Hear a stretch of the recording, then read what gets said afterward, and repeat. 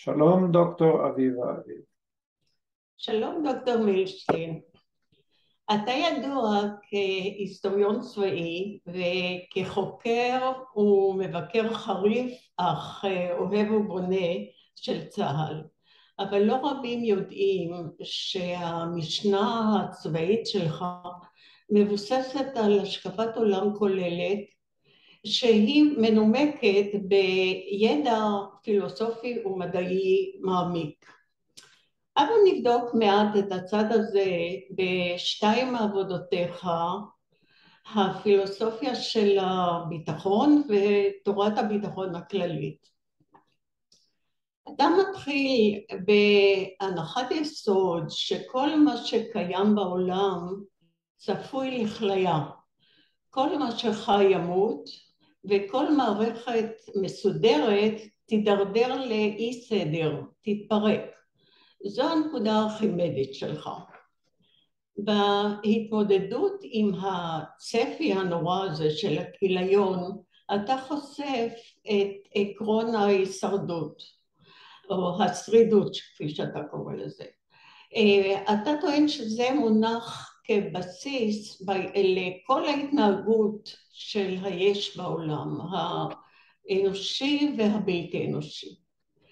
והמאבק בכיוון האנטרופי הזה של הזמן, שבו הכל הולך נוהר אל סופו, המאבק הזה נטוע בישות, בכל יש, כתודעה של מרד באיום הסופני וכמאמץ להבטיח את הקיים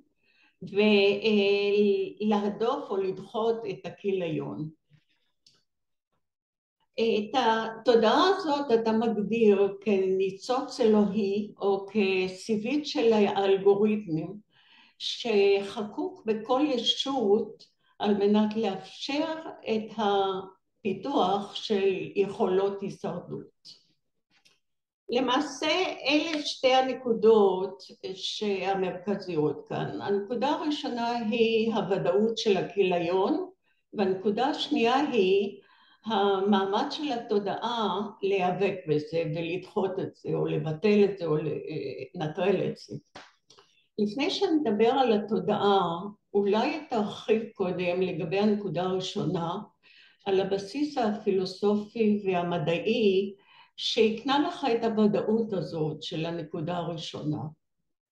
קודם כל אני עושה רושם אולי על אחרים וגם עלייך שהדברים אצלי הם ודאיים. אז קודם כל הם לא ודאיים.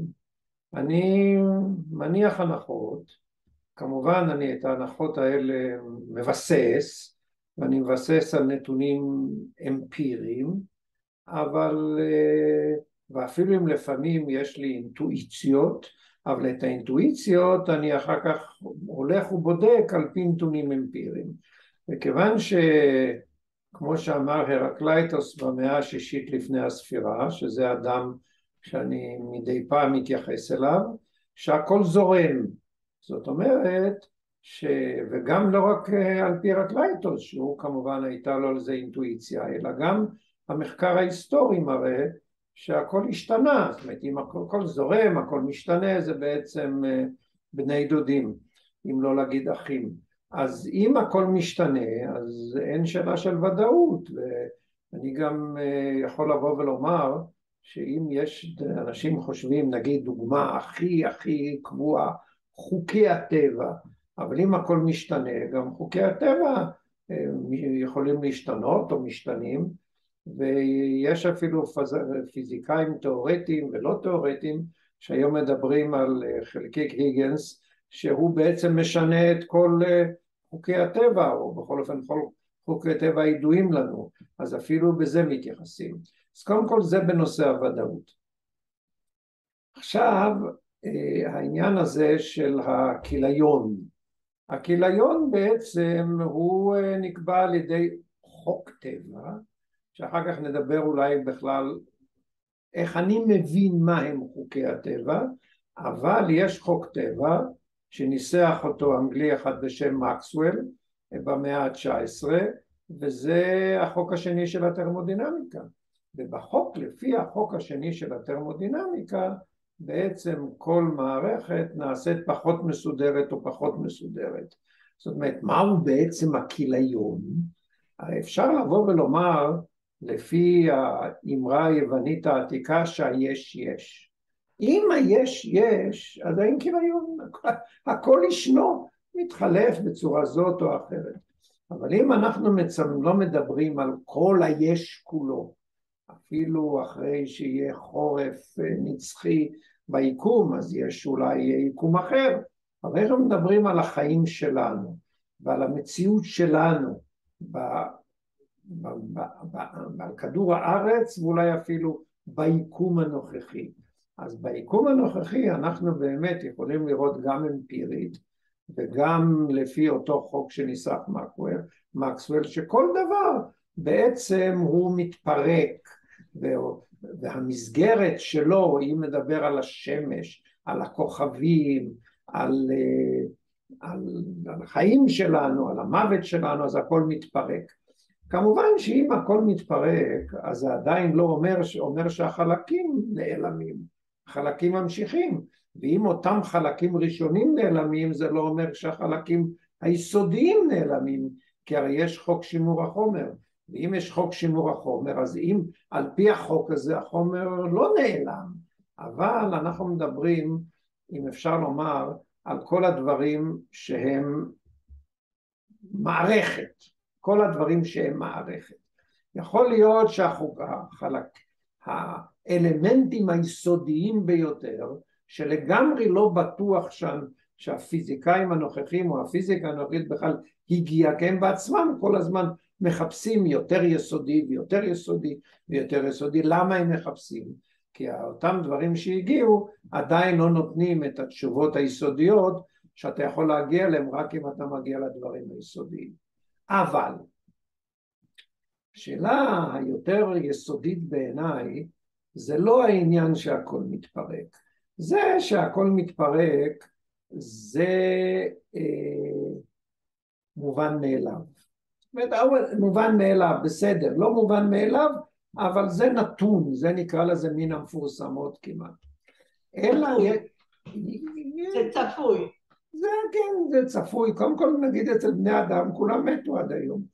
ולא רק בני אדם, אלא גם בעלי חיים, צמחים, אה, כל דבר אורגני מת. אבל זה לא רק הם, אלא גם הכוכבים מתרסקים, ועם הכוכבים אז גם דברים אחרים וכולי. אלא שהדבר האחר שאני אליו הגעתי הוא, תראי העניין הזה שהכל בסופו של דבר יגיע לסופו זה דברים שבני אדם מדברים עליהם יכול להיות שמאז שמדברים בכלל או בכל אופן מאז uh, ראשית ההיסטוריה אני לא יודע עד איפה אפשר להגיע לאדם הקדמון שיתעסק נגיד בפילוסופיה. אבל אם אנחנו מדברים נגיד על הפילוסופיה לפחות המערבית מימי טאלס, זאת אומרת המאה השביעית לפני הספירה ונוסיף לזה גם את אה, התנ"ך אה, ואת אה, כל מה שכתוב שם, אני לא אומר שזה התחיל לפני ארבעת אלפים שנה, אבל בוודאי ובוודאי שזה נכתב לא אחרי לפחות לפני אלפיים אלפיים חלק מאות שנה. וגם בתנ"ך מדובר על הבל הבלים ועוסקים בנושא הזה שהיקום נברא ויכול להיות שהיקום ייהרס ואלוהים במה הוא מתעסק, בורא עולמות ומחריבם. הנקודה המרכזית בתיאוריה שלי אה, היא לא בדיוק זאת, אלא בתוך זה משהו אחר והוא שאנחנו חיים בסביבה מאיימת. כמובן, ואז אפשר לבוא ולומר שאם באמת אנחנו חיים בסביבה מאיימת, זאת אולי אחת הסיבות בכלל לחוק השני של התרמודינמיקה. זאת אומרת, אני מגיע אפילו יותר יסודי מהחוק הזה של מקסוול. כמובן שמקסוול עשה את זה ככה בצורה של מחקר פיזיקלי ומתמטי ועם נוסחה נקרא לזה ככה, שזה נותן לזה את.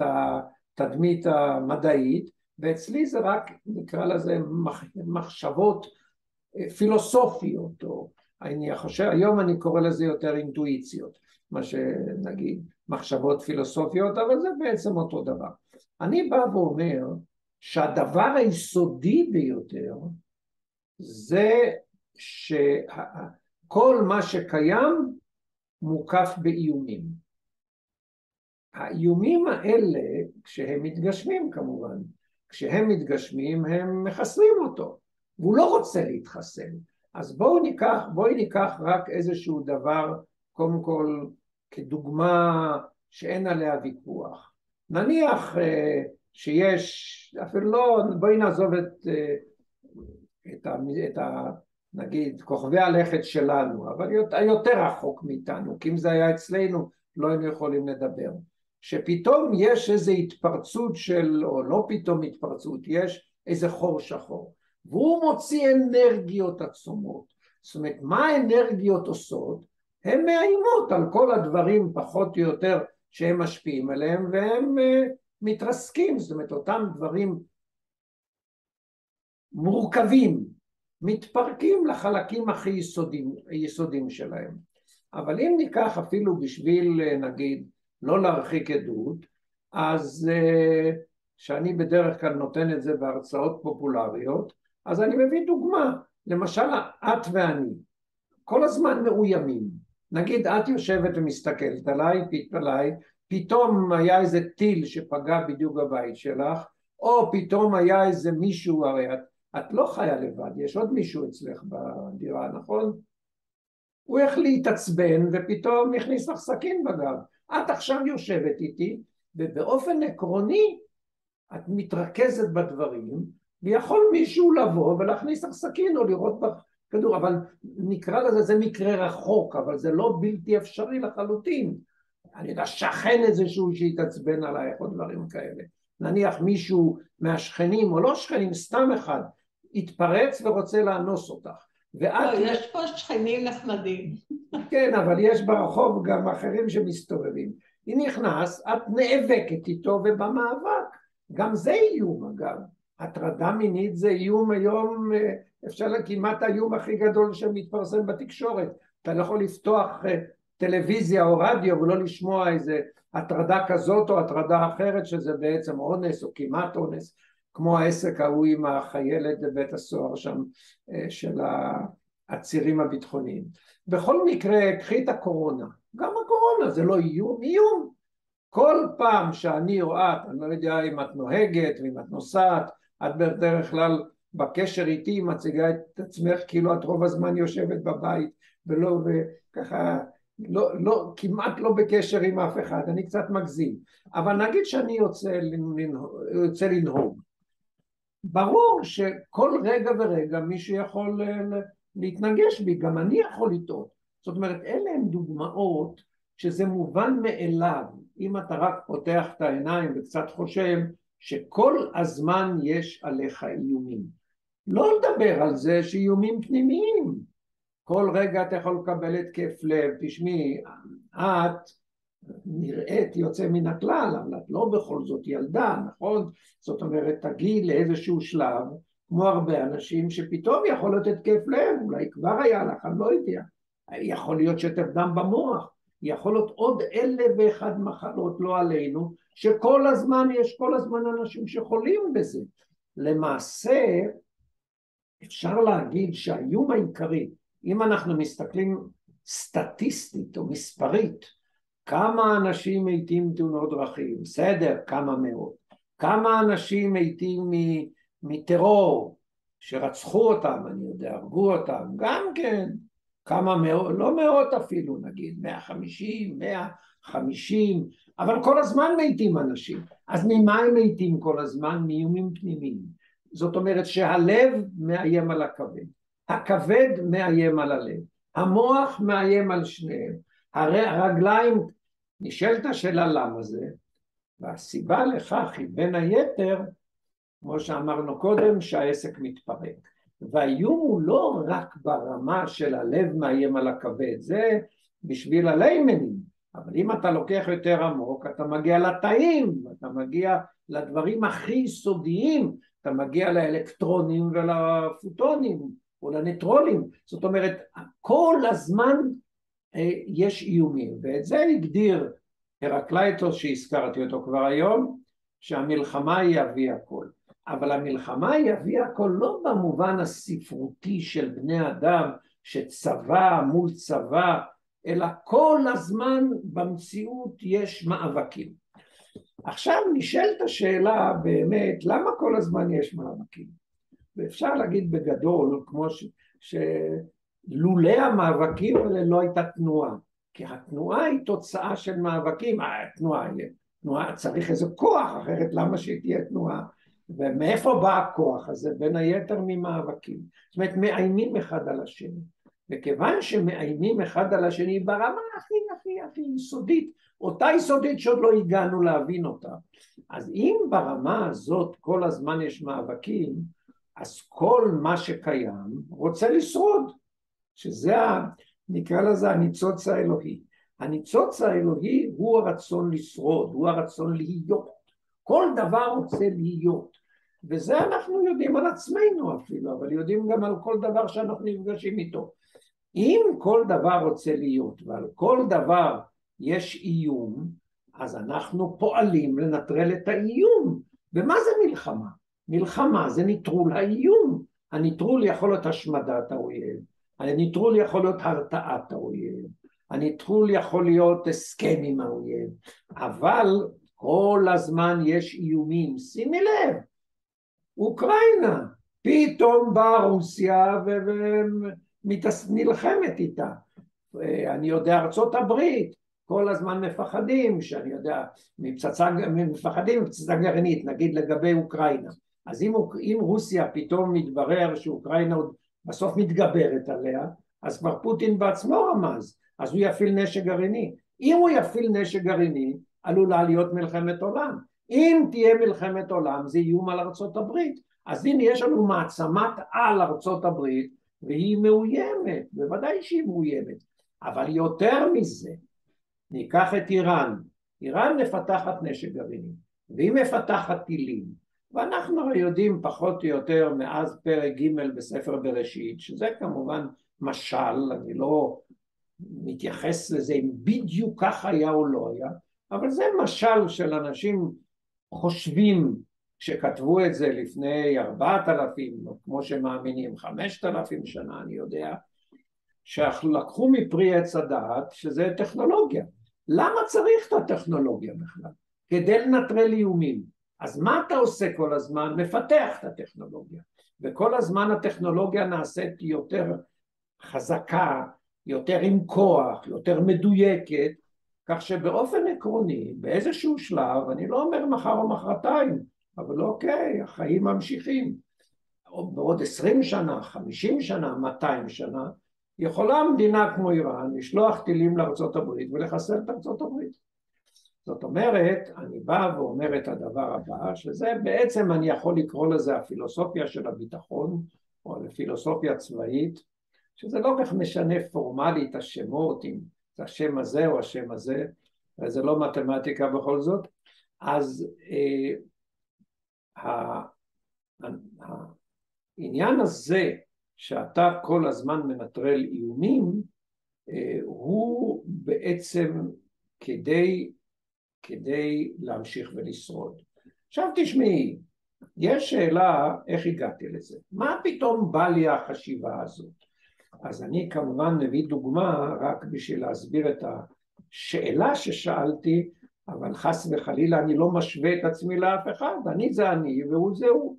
היה אנגלי אחד, לפי הסיפורים, שכב מתחת לעץ בבית כי הוא עזב, עזב את, אני יודע, את אוקספורד, איפה שהוא למד, קמברידג', כי היה שם איזה מגפה, שכב, נפל תפוח, והנפילה הזאת פתאום שינתה את הפיזיקה לחלוטין.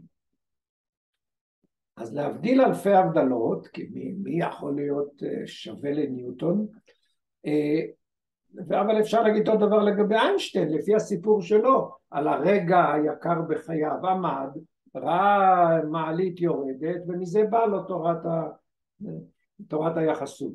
בכל מקרה, מה שנוגע אליי, אני נתקלתי בגיל צעיר, בגיל 14, בזה שכל מה שנכתב על הפרשה הכי מפורסמת במלחמת העצמאות לא היה ולא נברא. והפרשה הזאת היא פרשת הל"ה. עכשיו את יכולה להגיד, גיל 14, 1954, אני היום בן 82 וחצי, בסדר, אז הרבה דברים לא ידועים, אבל הדבר המעניין, שאותו דבר שאני נתקלתי בו בגיל 14, הוא עד היום 99% מהישראלים אה, חושבים שזה ככה. זאת אומרת, שמה עשו על המדי? שלחו אותם לעזור לגוש עציון. וזה כמובן לא נכון. עכשיו, אבל זה ממשיך. ואז שאלתי את עצמי, קודם כל לתת לך את התשובה. הלמדי הלכו להביא פלזמה לפצועים שמפקד גוש עציון במברק ששלח לירושלים או בטלפון או בפקס, מה שהיה באותה תקופה, מורס, שאם לא ישלחו פלזמה או לא יפנו אותם, הם ימותו. ומדובר על תשעה אנשים בעקבות, בעקבות קרב בג' שבט. ג' שבט, 14 ב, בינואר 1948. ובשעה אחת בלילה, מהר מהר מהר מהר, דני מס ועוד אה, שלושים וכמה אנשים, זה לא היה שלושים וחמישה, יותר, לא היה להם נשק, לא חשוב עכשיו פרטים, על הכל כתבתי הרבה ודיברתי על זה, לא רוצה להיכנס עכשיו, זה לא חשוב לעיקרון. דני מס הלך עם השלושים וחמישה בלילה הראשון. תשעים ותשעה אנשים, מאחוז אנשים לא יודעים שפעמיים הלכו, לא פעם אחת הלך המדי, היו שתי הליכות. בלילה, בפעם הראשונה הלכו באחת בלילה. והשאלה הנשאלת, אם צריך לעזור לגוש עציון, מה קרה באחת בלילה? למה לא אתמול? למה לא שלשום? אם לעזור זה שיקולים, זה דברים, הצבא, החיפזון מן השטן, אז היה משהו נורא. המשהו הנורא זה לא לעזור לגוש. ולמה לא לעזור לגוש? כי תקפו את הגוש באותו יום. וה, ומהגוש הדף את ההתקפה, ולא רק שהדף את ההתקפה, אלא הערבים ברחו והשאירו שם כמה מאות חללים. זאת אומרת, אפשר להגיד, מאז הערבים פחדו מגוש עציון, ולא הייתה שום סיבה ללכת ולעזור לו. אולי הייתה סיבה ללכת לעזור לגוש בשלושה עשר לחודש, אבל לא בחמישה עשר אחת בלילה. זאת אומרת, מיד אחרי ארבע עשר, להפך. כמובן שאת כל השיקולים האלה 99.9% מהאנשים לא עושים. ואני לא אומר שאני, כשהייתי בן 14, אלה השיקולים שעשיתי. מה כן עשיתי? חקרתי. פשוט כיוון שאני, נקרא לזה, טיפוס חוקר, וככה ככה אפשר להגיד הגנים שלי הובילו אותי לחקור, ואני גם בין היתר מקובל עליי, נגיד הספק המתודו, המתודי של דקארט, להטיל בכל ספק, גם על אימא שלי ואבא שלי והמורים שלי ועלייך ואפילו על עצמי, להטיל בכל ספק, אז אני, כל הסיפור הוא שבמקום שלמדתי ליום העצמאות, הטילו עליי בגיל 14 להכין את האירוע, ואני רציתי שהאירוע יהיה סביב פרשת הל"ה. אז מה אמרתי לעצמי? נחקור את זה, נראה את זה, נלמד את זה, מה, אני הולך סתם ככה לקבל מה שאחרים אמרו, אם כהנחה בסיסית של רוב האנשים, אם זה כתוב בספר סימן שזה נכון, אוקיי, בייחוד חתום פרופסור או דוקטור או משהו, ואז התברר לי שהכל לא נכון, ואז פרסמתי את הנכון, ופרסמתי בספר שלם, ולפני זה במאמרים, ולא מקבלים את זה. אז יש פה שאלה נוספת. שאלה ראשונה, למה פרסמו לא אמת? אז הם הרבה פעמים לא יודעים, לא חקרו, לא, לא ירדו לעומק. אבל נשאלת השאלה, הופיע מישהו ופר... ונתן את האמת. ופעם ראשונה שזה היה, זה היה משהו כמו שלושים שנה אחרי הקמת המדינה, אז אני הייתי אז כבר בן ארבעים, והטלוויזיה רק התחילה בישראל, ואני הצגתי את ממצאיי בטלוויזיה, אז עשו פעם בחודש לקראת השלושים, ואני קיבלתי פעם בשבוע נדמה לי, או פעם בחודש, פינה. ואמרתי את מה שאני אומר לך עכשיו, והוספתי עוד כמה פרטים, כי זו הייתה פינה פופולרית, לא פילוסופית. את לא מתארת לך מה היה אחרי זה. היו צעקות של הפלמ"ח, של... היו הרבה אנשים במלחמת העצמאות שניהלו את המדינה, אנחנו מדברים על תקופה שיובל השלושים, זאת אומרת אנחנו מדברים לפני ארבעים שנה, אז כל היגאל אלונים וכל היצחק רבינים וכל העמוס חורבים, עמוס חורב חי עוד, אבל ואחרים הם כולם חיו, אלה שהיו קשורים על המדי בוודאי, ואני הצגתי אותם במידה רבה כמי שלא אמרו את האמת מצד אחד ובאירוע כאחראים על מחדל ועל כישלון. ואז אה, הייתה צעקה ואז החליטו שמוכרחים להעמיד את הדברים לדיוקם והחליטו ששבוע אחרי זה, זה היה ביום שישי התוכנית, יביאו את מאיר פעיל ויביאו עוד מישהו ואת עוזי נרקיס והם יראו את האמת ואת האמת ואת האמת. זאת אומרת זה הדבר איום ונורא. תשמעי את יכולה להגיד איום ונורא big deal אבל תשמעי בהקשר הזה של מה שאני מדבר זה היה איום ונורא לכל האנשים שמעורבים בעניין, שמתעניינים וכולי. ואז דיברו בטלוויזיה, אני ביקשתי שגם אני אהיה בדיון. לא, לא, זה אי אפשר. אבא של אה, לפיד היה, הוא היה יושב ראש אה, הנהלת אה, רשות השידור. אז הם החליטו שהם יגידו את הדברים בדיוק ויעמידו דברים על דיוקם. יעמידו דברים על דיוקם. מה הם אמרו? תראי, בטלוויזיה הכל ישנו, זה נשמר, זה כבר דיגיטלי הרי.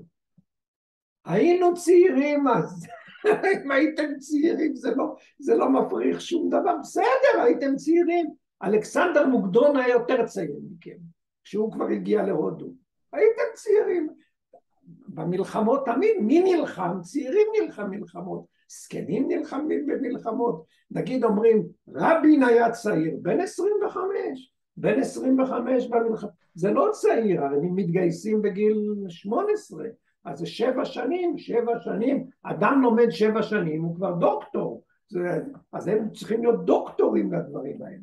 בקיצר היינו צעירים, לא הפריחו שום דבר, לא אמרו שזה לא נכון, לא אמרו שזה כן נכון, התחילו לקטר. ואני שאלתי את עצמי, למה זה?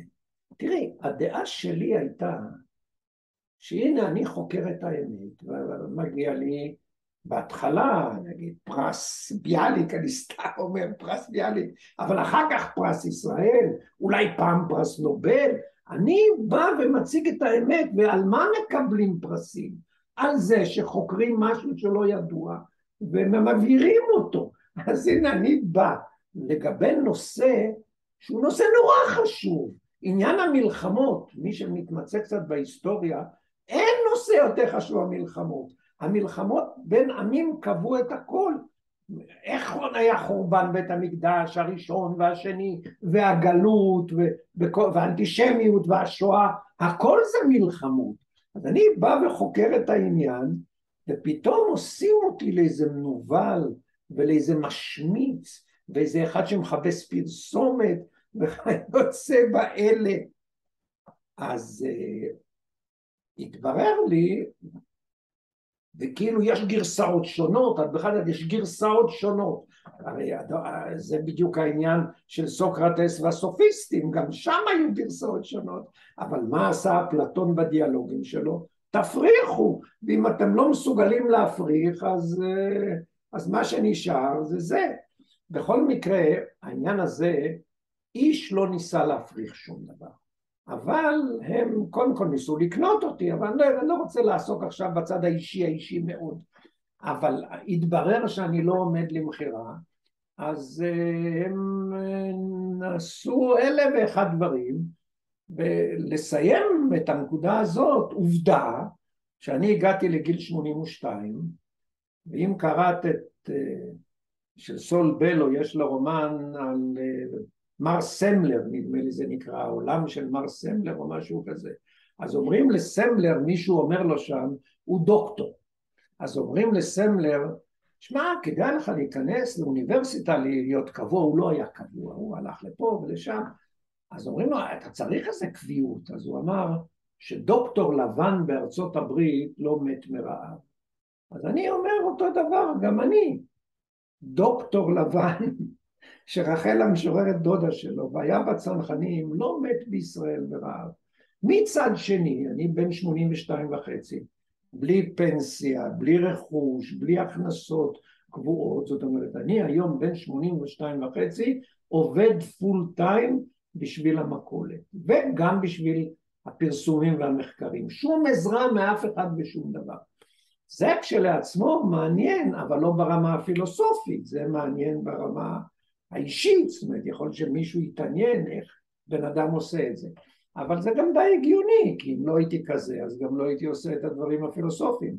זאת אומרת, בעצם חיי נתקלתי בזה שאנשים כדי לשרוד לא אומרים את האמת. וכדי לשרוד לא אומרים את האמת, כי אם ידעו את האמת יפטרו אותם, יגרשו אותם, יכניסו אותם לבית סוהר או דברים כאלה. אז, יהיה, אז אפשר להגיד מי האויב הכי גדול של המדינה? ראש הממשלה. כי ראש הממשלה, גם הנוכחי וגם הקודם וכל האחרים מאז בן גוריון, לא אמרו את האמת. וזה כל הזמן חוקרים ומגיעים, גם חושפים, כל הזמן חושפים דברים ההיסטוריונים או החוקרים. נשאלת השאלה, הם לא אמרו את האמת? בגלל עקרון השרידות, כדי לא לפגוע בקריירה, לא לפגוע במפלגה, לא לפגוע בתדמית האישית, בכבוד, באגו. ויוצא מצב שכיוון שאלה שנמצאים למעלה, שמקבלים את ההחלטות האסטרטגיות, להם יש הכוח, והדברים שהם עושים הם הכי הכי משפיעים, כמו למשל לגבי מלחמת יום הכיפורים שלא גייסו מילואים, אז כדאי לברר למה לא גייסו מילואים, אבל הם עשו את הכל כדי שלא יבררו את זה. ולמה לא יבררו? כי אז תיפגע תדמיתם, בין כה נפגעה תדמיתם, אבל הרבה הרבה יותר. זאת אומרת, נגיד תקחי דוגמה ועדת אגרנט. אז מה הם עשו בוועדת אגרנט? הם נתנו לה, קבעו שהיא תחקור את יום הכיפורים רק אה, ארבעה ימים הראשונים. למה רק ארבעה ימים הראשונים? כדי שיבואו ויגידו נתנו למצרים ולסורים פור, אבל אנחנו מצוינים, אנחנו חזקים, ואז אחרי זה צה"ל חזר לעצמו והגיע עד 101 קילומטר מקהיר ועד כמעט דמשק. רגע, רגע, אבל אחרי שבוע היה החווה הסינית שהיה איום ונורא, ולקראת סוף המלחמה היה קרב החרמון האיום ונורא, והיה קרב סואץ האיום ונורא. זה איננו, מה יש? בכל הכנסים של האלופים והרבי אלופים והתתי אלופים לא היה ניצחון כזה גדול התחלנו עם איזה טעות שלה, של אמן נניח, אבל אחרי זה צה"ל חזר לעצמו. איך זה חזר לעצמו? כשאתה בודק איך צה"ל תפקד איום ונורא. עכשיו, איך אתה יכול במלחמה הבאה, כדי למנוע את השמדתך, אנחנו מדברים על זה שרוצים שלא ימותו, אבל לא רק למנוע את השמדתנו, אנחנו מעוניינים גם שהמדינה תמשיך להתקיים, שהמדינה לא תתפרק או תמות. אז בשביל זה אנחנו צריכים לבדוק את הליקויים, ובשביל לבדוק את הליקויים צריך לחשוף אותם, אבל להם יש אינטרס שלא יחשפו אותם, אבל זה לא רק להם, לכל מי שנמצא למעלה. אני לא אומר שהקבוצה הזאת היא קבוצה אידיאולוגית מרקסיסטית או אחרת או דתית או חרדית שצריך להחליף, עוד אין את מי להחליף. זה היה אצלנו, זה היה בברית המועצות, לכן היא לא קיימת. זה היה אצל נפוליאון, לכן הוא מת שם באי השדים או איפה שהוא מת. זה אצל כולם, זה כל הזמן ככה. ועל זה, לא בדיוק על זה, אבל ברמה ההיסטורית על זה, כתבה ברברה טוכמן את מצעד האיוולת. זאת אומרת, הדבר הזה הוא לאורך כל ההיסטוריה.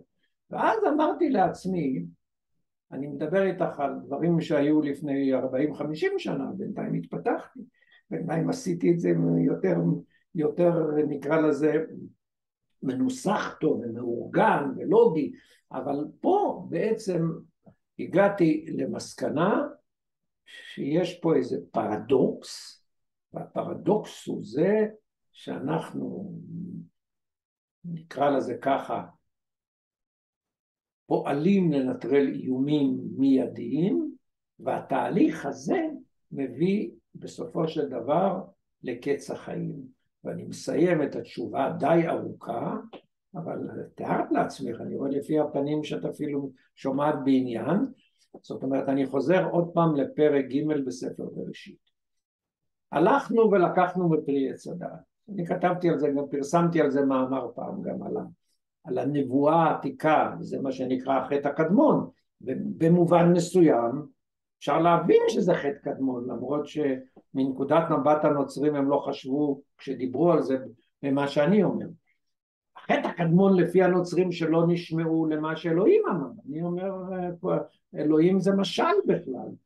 החטא הקדמון הוא זה שאנחנו הלכנו בכיוון של פיתוח טכנולוגיות, הפיתוח הזה בראשיתו היה בשביל לפתור בעיות של מזון, זאת אומרת ביות הקטניות ובעלי החיים, וזה התפתח והתפתח, והיום יש כל העניין הזה של שינוי האקלים, ולפי המומחים לפחות שינוי האקלים הוא תוצאה מהטכנולוגיה, זאת אומרת הטכנולוגיה שנתנה לנו עשרת אלפים שנה של תנאים יותר טובים, אבל ברוב המקרים גם גרמה לזה שננטרל איומים, הביאה למין מצב ש... שה... שהקרחונים נמסים, שהאקלים משתנה, שהאטמוספירה נעשית יותר דקה, ואולי באמת הגענו לקץ החיים. נו, השבתי לך. אתה למעשה פלשת לנקודה השנייה שהיא התודעה, שהיא אמורה בעצם להיאבק באיום הזה של הכיליון. אתה מציין שלוש רמות של התודעה. הרמה הראשונה היא הרמה של החומר והחי הלא אנושי כי כשאתה מדבר על תודעה אתה כולל את הבלתי אנושי חומר וגם חי שהוא לא אנושי עכשיו הרמה הראשונה הזו היא עמומה ובחומר זה מתבטא בנטייה להתמדה ובחי אנחנו רואים את זה, את האינסטינקט ההישרדות של חיות וכולי וכולי באופנים שונים. אבל זו, זו הרמה הבסיסית. אתה מדבר אחר כך על רמה שנייה שהיא הרמה של התודעה האנושית. התודעה האנושית היא הרבה יותר מורכבת כמובן ומשום כך הרבה יותר בעייתית אבל היא בעצם, המטרה שלה זהה לתודעה של הבלתי אנושי, שזה כמובן לנטרל את האיום. התודעה, הרמה השלישית של התודעה לדבריך, זו הרמה הטרנסצנדנטלית, האלוהית, שהיא אה, תודעה שאיננה מוגבלת, היא על-זמנית, היא לא מאוימת בשום כליה, יש לה יכולות שאין לאדם, כמו ראייה סינופטית בו זמנית, יצירת יש מאין, כלומר היכולת להעניק מעמד אונתולוגי באמצעות המחשבה או הכוונה. ועוד שלל רב של אפשרויות ופוטנציאל שאנחנו לא יכולים אפילו לדמיין כבני אדם. עכשיו אתה טוען שאין קשר בין שלושת הרמות האלה של התודעה אבל יש אנשים שמאמינים שישנם בני אדם גאונים שהצליחו לפרוץ את המגבלות של החשיבה האנושית ולגעת בתודעה האלוהית הזו, לקבל ממנה מידע או אפילו לתקשר איתה.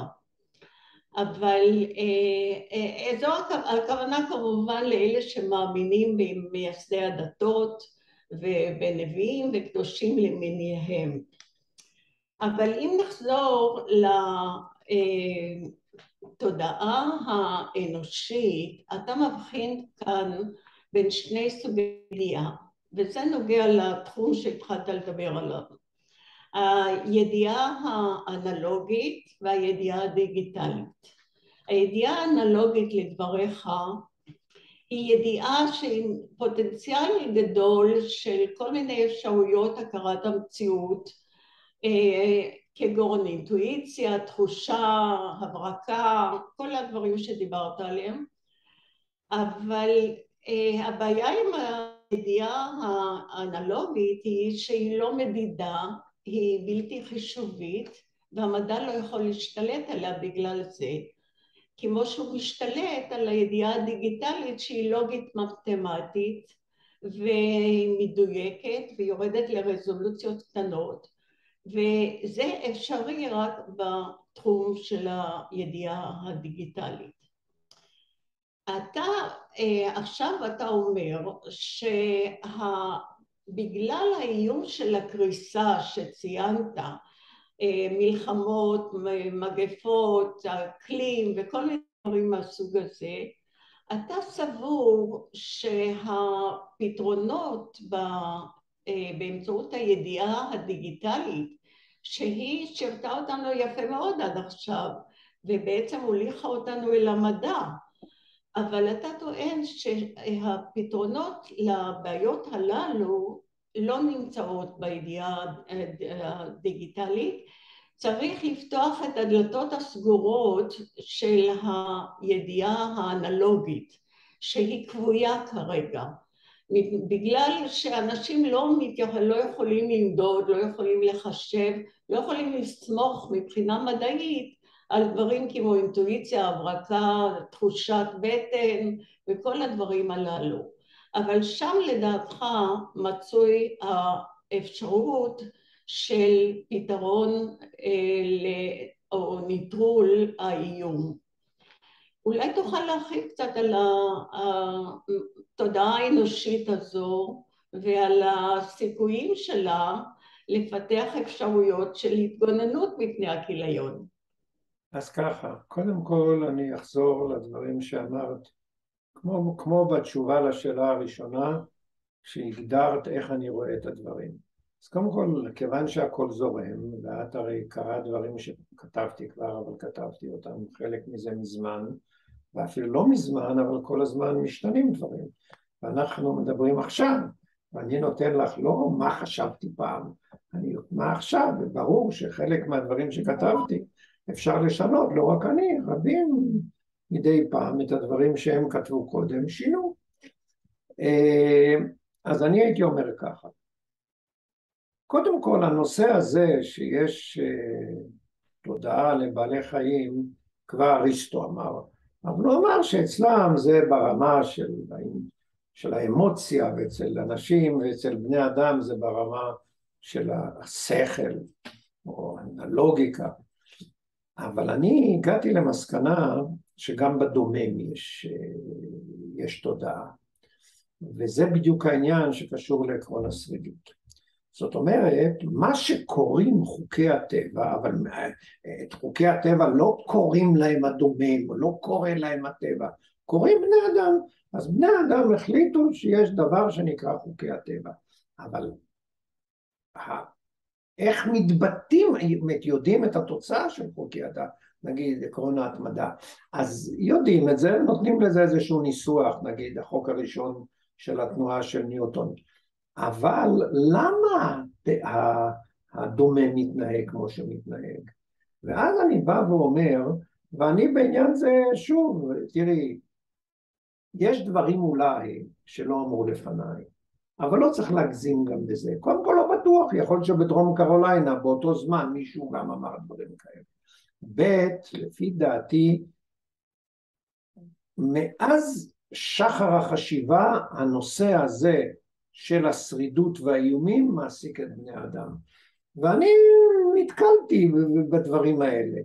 אז אם ניקח את הנושא הזה של החשיבה אה, של הדומם, זה ישנו אצל שפינוזה. הרי בא שפינוזה, הוא לא היחיד כמובן, ובא ונדבר על הפנתאיזם, זאת אומרת שהכל אלוהים.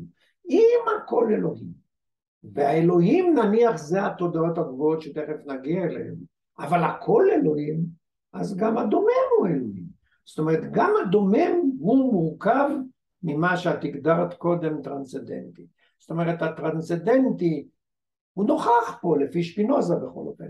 ושפינוזה הוא לא אדם בטל, היו לו אינטואיציות טובות, וגם לוגיקה, בוודאי שהיה לו מתמטיקה, אבל כמו אפלטון כתב אל תיכנס לאקדמיה מי שלא יודע אה, לא מתמטיקה אלא גיאומטריה. גיאומטריה אבל בדיאלוגים שלו אין הרבה גיאומטריה. אבל יכול להיות שזה תנאי בשביל להגיע הלאה. בכל מקרה הטיעון של, של שפינוזה שהכל זה אלוהים כבר נותן לנו תשובה. אם הכל זה אלוהים ואלוהים הוא טרנסדנטי וה, והחשיבה הדרג השלישי כמו שהגדרת את זה אצלי הוא אה, תודעות גבוהות אז התודעות הגבוהות הן גם אה, נמצאות בכל מקום. כמובן לא חייבים לקבל את שפינוזה ולא חייבים לקבל אף אחד וזה אמרתי כבר קודם. אבל אני רוצה להמשיך הלאה ולומר נניח לרגע אפילו רק אצל בעלי חיים, אבל לא מעט אנשים עכשיו טוענים שגם אצל צמחים יש תודעות, למשל הם מעבירים אחד לשני אינפורמציות על מים או דברים כאלה.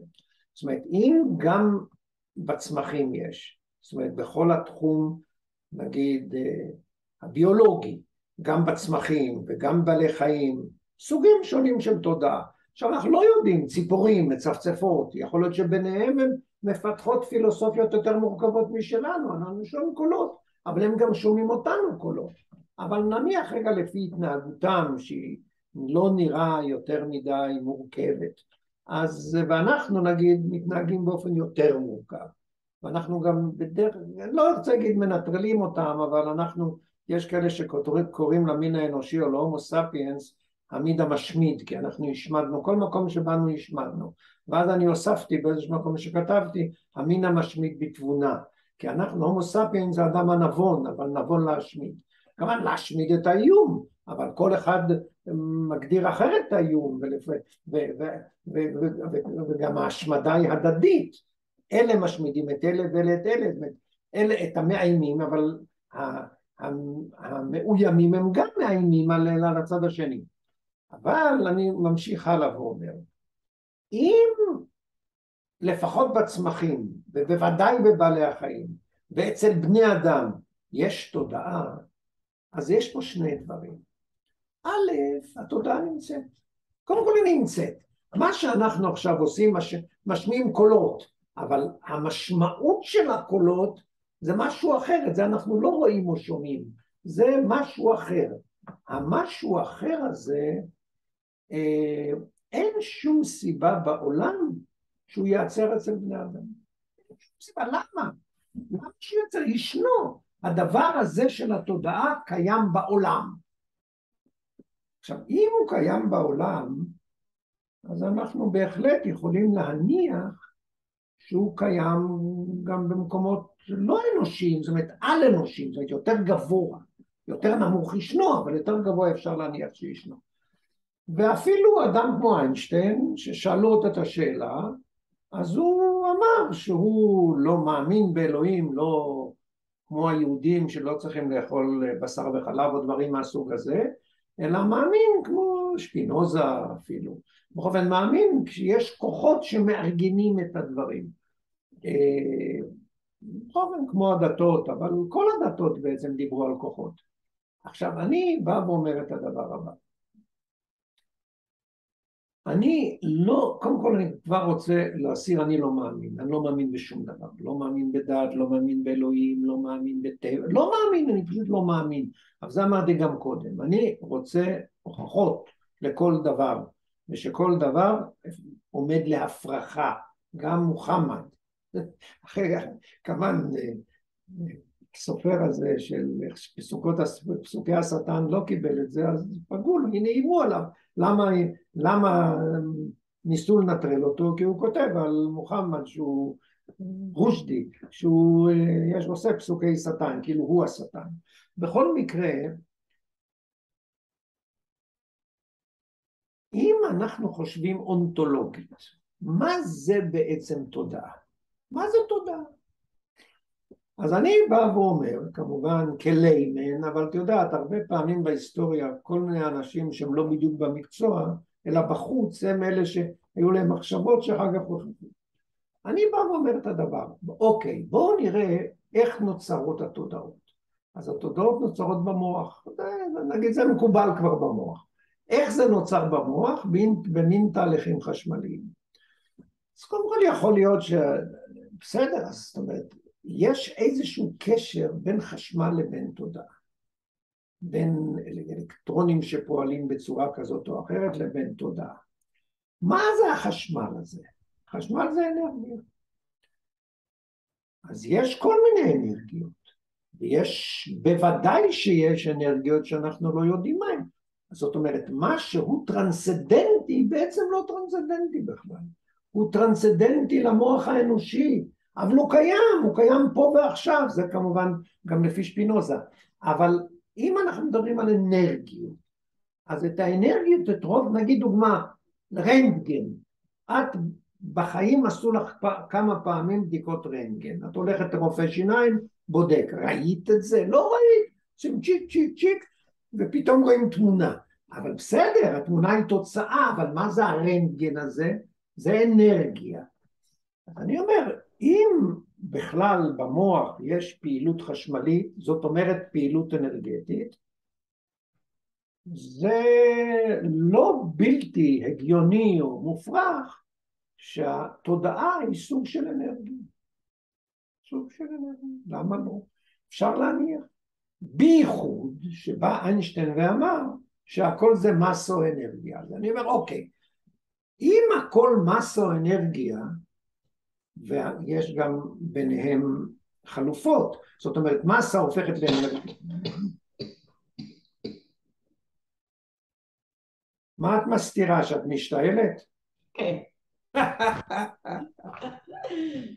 חשבת אותי. את דוקטורית לפילוסופיה, אבל נוהגת כמו ילדה קטנה. תשתעלים, מה רע? אם, אם אנחנו אומרים ככה, אם הכל מסו אנרגיה, מה ההיגיון שהתודעה שקיימת, אין ויכוח שהיא לא קיימת, והיא אפילו קיימת במקום שיש פעילות אנרגטית, אז הגיוני שזאת אנרגיה. עכשיו, אנחנו אומרים, לא אנחנו, הפיזיקאים או אסטרו-הפיזיקאים, באים ואומרים שיש אה, חומר אפל ואנרגיה אפלה, ובעצם החומר האפל והאנרגיה האפלה זה עוד יותר ממה שאנחנו יודעים. זה מה שהפילוסופים קוראים טרנסדנטי, אבל הטרנסדנטי נמצא כאן ועכשיו, הוא פה, הוא כאן. זאת אומרת שבעצם מנקודת מבטי, נקרא לזה בהיסטוריה של פילוסופיה, העמדה שלי היא עמדה אידיאליסטית. עכשיו, העמדה האידיאליסטית, נגיד, במובן מסוים אפלטון הלך באותה דרך. אבל בסדר, אפלטון היה לפני ניוטון, לפני איינשטיין, לפני אנרגיות, בכלל לא היה ביטוי הזה. אבל הוא דיבר על זה, הוא דיבר על דוקטורה, על האידאות, והאידאות מבחינת אפלטון קיימות. יש יהודי אחד שלמד איתי יחד באוניברסיטה, וקיבל אפילו את פרס ישראל בפילוסופיה, קיבל פרס ישראל בפילוסופיה, לא לדבר על זה שהוא יש לו פנסיה, מה שלי אין, אבל היינו די חברים. ואת בטח שמעת את שמו אבישי מרגלית. עכשיו אני זוכר שיחה עם אבישי מרגלית, שנינו היינו, למדנו באוניברסיטה העברית, והיינו יחד ככה, הסתובבנו בדיוק יחד על יד הספרייה הלאומית, ואז אני אמרתי לאבישי, תגיד, מה אתה אומר? אבישי זה עוסק בלוגיקה בעיקר, הוא לא עוסק במטאפיזיקה, אבל למדנו אצל רוטנשטרח ואחרים, בכל אופן למד, הוא גם אצל בר הלל התעסק הרבה, לא חשוב. אמרתי לו, תגיד לי אבישי, מה זה האידאות של אפלטון? הוא לא, זה, זה מושגים, זה מושגים. זאת אומרת, במקום לקרוא לזה מושגים, קורא לזה אידאות. אני אבל לא חשבתי ככה אז, והיום עוד דעתי התחזקה מאז. אני בהחלט סבור ש...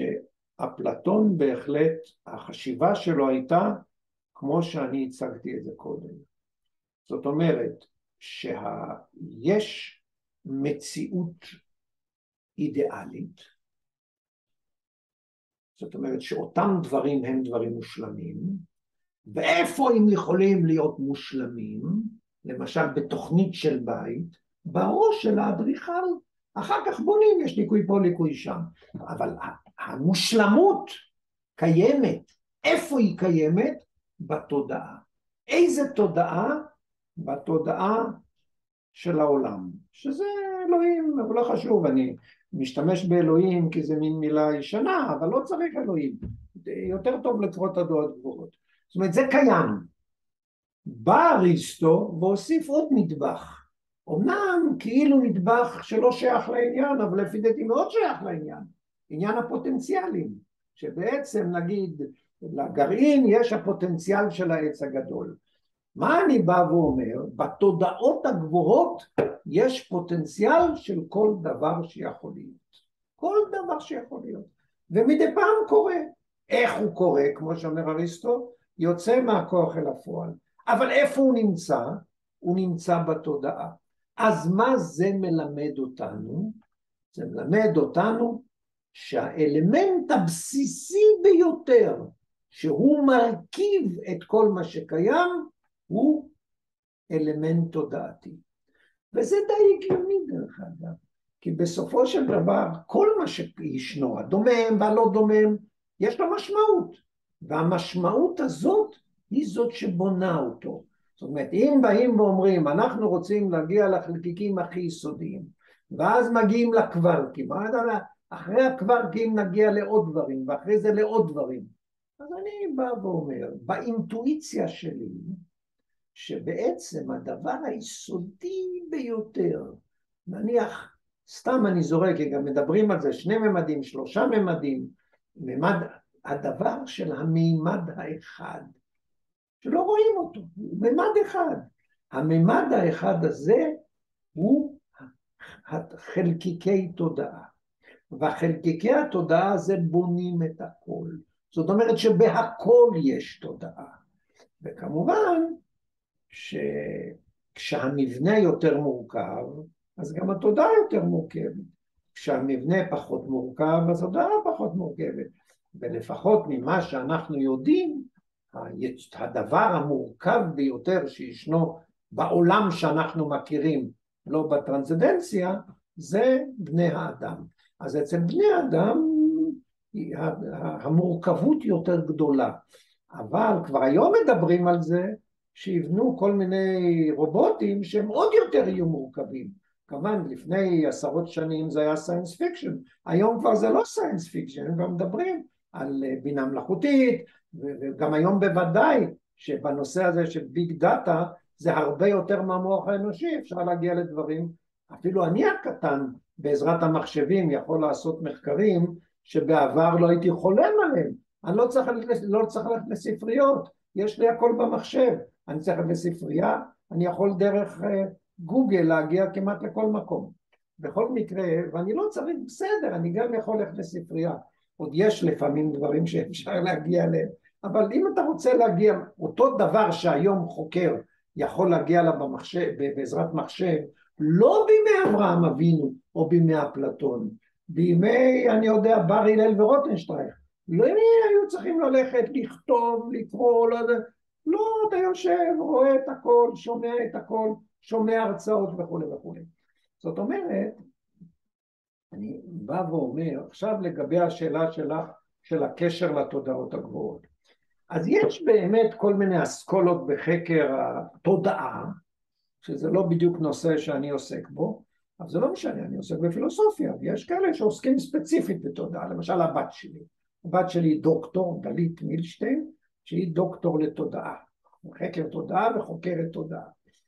אה, בכל מקרה, יש דעה בכלל שהתודעה מקיפה אותנו, והתודעה שלנו זה תקשורת עם התודעה שמקיפה, אנחנו בעצם צרכני תודעה, אנחנו לא יוצרי תודעה, גם במובנים הפשוטים, לא במובנים שאת אמרת עם התודעות הגבוהות קשר, כמו משה רבינו נניח, שהיה לו קשר עם אלוהים בהר סיני. עכשיו אני בא ואומר את הדבר הבא, צריך להניח באמת שהמערכת התודעתית שלנו היא פחות או יותר מה שאנחנו מכירים ומה שאנחנו יודעים.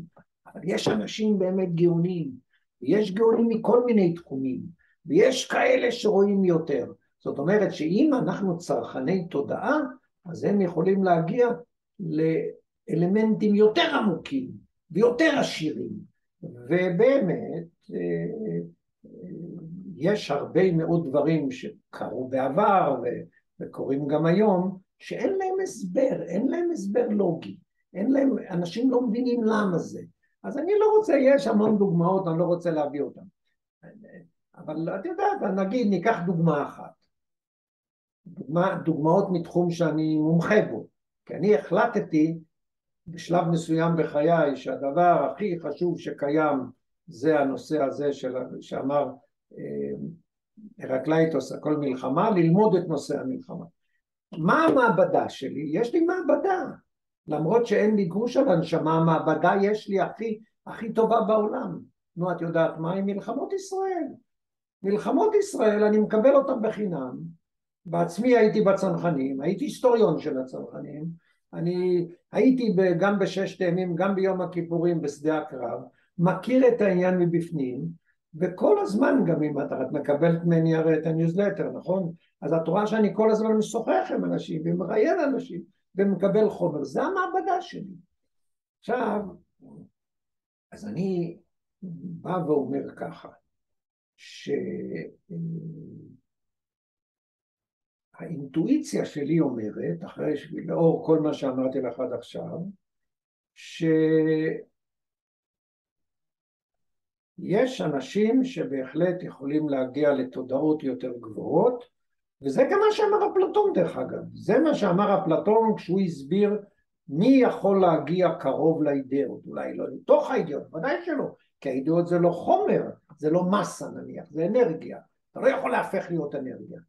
אגב, אפילו בנושא הזה של אה, אלה שמאמינים בנשמות, והנשמה היא בוודאי שאנרגיה, היא לא חומר, אז אלה שמאמינים בנשמות ואלה שמאמינים בעולם הבא, יש לזה הסבר, יש לזה הסבר. העולם הבא הוא שאותו דבר שהייתה התודעה שלך, התודעה שלך תישאר, זה יישאר. זה כמו שהיא נרשמת שם בדיסק קשיח של, של התודעה, של היש, של התודעה הכללית. אה, וגם הדיסק קשיח הוא לא חומר אלא הוא מין סוג של תודעה בעצמה, הוא התודעה של הדיסקים. אם ככה, אז uh, הכל תודעה, והתודעה מפעילה את הכל, והיא באמת מפעילה את הכל. התודעה שלך, שאת רוצה לשוחח איתי על הנושא הזה, הביאה לזה שאנחנו נשוחח. והתודעה שלי, שאני רוצה להציג את הדברים, הביאה לזה. והתודעה של פוטין, שהוא רוצה בחזרה את, אה, את, אה, אוקראינה, כי רוסיה בלי אוקראינה זה לא בדיוק מעצמת על, הביאה למלחמה הזאת. כל דבר, כל, הכל בעצם נובע, מה שנקרא, נגיד, מהמניע. מה זה המניע לעשות דברים? אם לא היה מניע ולא היו עושים דברים, לא היו דברים. אז עושים דברים, קורים דברים, ויש מניע, והמניע הזה הוא, נקרא לזה, אנחנו לא רואים אותו, הוא טרנסדנטי, הוא התודעה. זה פחות או יותר. ועכשיו לגבי השאלה שלה, בדרך כלל נשים הן יותר אה, בעד שלום ונגד מלחמות. אז את בין היתר אמרת לי אולי בעזרת התודעות אנחנו נגיע לנבואת, אני יודע מיחזקאל או ישעיהו, שישב זאב עם כבש. קודם כל יכול להיות, כל דבר יכול להיות, הכל יכול להיות. אה, אני לא, את דיברת על הנושא של דיגיטלי ואנלוגי. אני, לפני שהתחלתי לדבר איתך, ראיתי, מה ראיתי? ראיתי באיזשהו מקום איזה קטע של סרט, אולי זה בערוץ 47, את רואה את ערוץ 47 שם? זה ערוץ שעוסק בחידושים הכי הכי אמריקאי, שעוסק בחידושים הכי הכי באסטרופיזיקה. אז יש איזה מכון בארצות הברית, אני לא זוכר את השם שלו, אם כי פעם קראתי עליו הרבה, שיושב שם איזה פרופסור, שכל תפקידו בחיים זה להגות רעיונות. ויושב פרופסור אחורק, הוא לא חוקר או משהו, הוא חושב על רעיונות, כמו הרעיונות שאת שומעת. נו, זה האמריקאים יכולים להרשות לעצמם, אצלנו אין דברים כאלה. ויושב מישהו אחר, שהוא את הרעיונות האלה לוקח, ועושה ניסיונות. שני החבר'ה האלה. זה באמת דבר מעניין מאוד. זאת אומרת, במילים אחרות, התודעה היא אינסופית, והיא יכולה להגיע לכל דבר. ואנחנו צריכים באמת אה, לנסות לא לבטל את הרעיונות של אותם אנשים שמביעים את הדברים המוזרים נקרא לזה, לא לבטל אותם. וצריך לבדוק ולחשוב ובצורה כזאת לנסות להתקדם ולנסות לפתור את הבעיות וכשאתה פותר את הבעיות, למשל אם נחזור לנושא שאמרתי, זאת אומרת שלא מתחקרים ליקויים, ואם לא מתחקרים ליקויים לא תחקרו את ששת הימים, את אותם ליקויים אכלו ביום הכיפורים. בששת הימים הם לא הזיקו, כי לא הייתה מלחמה בכלל, כי זה אחרי שעה נגמר. אנחנו הכרענו את ששת הימים אחרי שעה, אבל בכל הקרבות שהיה לנו בששת הימים, גבעת התחמושת, תל פחר, רפיח, עמק דותן, תפקדנו רע מאוד. תפקדנו רע מאוד לאורך כל הדרך. גם כל התכנון וכל ההכנות עם אשכול ועם דיין ועם רבין שבכלל היה מאושפז אה, וקיבל שוקים חשמליים כי היה לו הלם קרב אה, מלחמת העצמאות, היה לו פוסט טראומה. כל הדברים האלה אה, איש לא חקר אותם, איש לא בדק אותם. כי אם היו חוקרים ובודקים, ברור שהיו לא מעט אנשים משלמים מחיר. והמיתוסים על ששת הימים לא היו כמו שעד היום. אבל היה לזה יתרון, היה לזה יתרון כי יכולנו לתפקד יותר טוב ביום הכיפורים. וזה בעצם נותן לך, את, נקרא לזה, את הבשורה שלי. אם אתה מתחקר את הליקויים, כמו ברפואה, אתה מתחקר את המחלה, אתה נותן לה פתרון. באה עוד מחלה, חוקר אותה. גם פה אתה צריך לתחקר את הדברים, לא לוותר, לבדוק כל דבר, להטיל ספק בכל דבר, ואז אתה, תהיה לך תרבות כזאת, לא תרבות מיתולוגית, אלא תרבות אה, ביקורתית. ואז אה, אפשר לשפר את הדברים. עד כמה לשפר? השמיים זה הגבול. שאלות נוספות. טוב, אה, האמת היא שעלו כל מיני דברים שרציתי להעלות, אבל בדיון שלנו, אנחנו, זה דיון קצר בסופו של דבר וחייב להגיע לסופו, אבל אה, זה היה מרתק מאוד, זה לא נגע בשלל של רעיונות עמוקים ומעניינים מאוד בכתובים שלך, ונשאיר את זה לפעם הבאה. תודה. תראי, אם את רוצה, אנחנו יכולים, אה, אחת ל...